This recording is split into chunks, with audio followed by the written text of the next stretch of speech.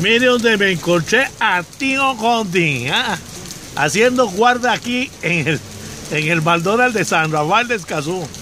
Hasta luego, Tío Condi.